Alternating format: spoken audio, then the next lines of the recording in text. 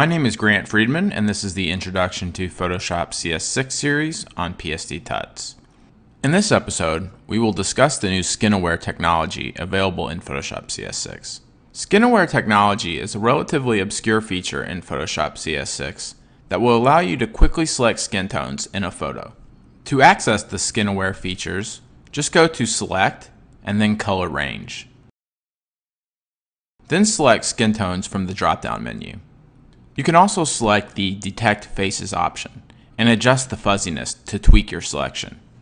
That's it for this episode. I hope you enjoyed it, and I'll see you next time.